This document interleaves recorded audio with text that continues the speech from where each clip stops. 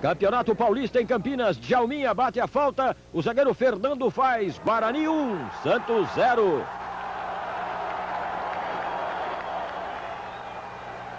No finalzinho do jogo, o empate do Santos. Guga cruza, da Silva erra a direção e faz contra. Guarani 1, Santos 1.